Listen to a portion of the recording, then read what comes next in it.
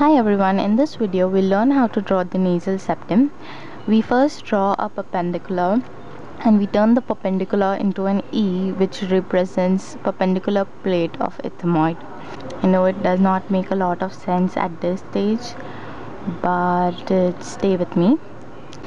So now we draw a V which represents vomer.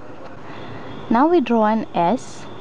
This represents the septal cartilage of the nasal septum. Oh and over here we draw an R. And R represents rostrum of the sphenoid bone. I'm drawing the frontal bone here. And this pointed thing is the spine of the frontal bone. That is the crest of the nasal bone. This is supposed to look like a C which represents columella I forgot to include that in the video.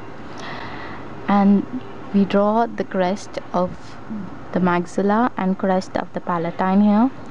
And then we draw the maxillary bone. So let's revise real quick. Perpendicular then an E. E is for ethmoid. Then we draw a V.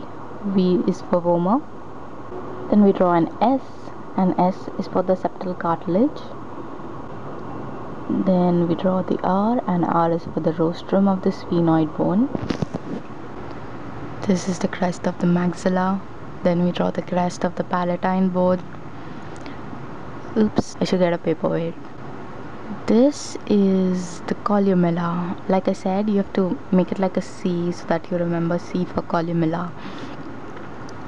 This is the crest of the nasal bone.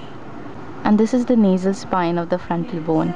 And I know it looks like my hand is undergoing a tremor here but um, I was basically adjusting the camera so that you can see.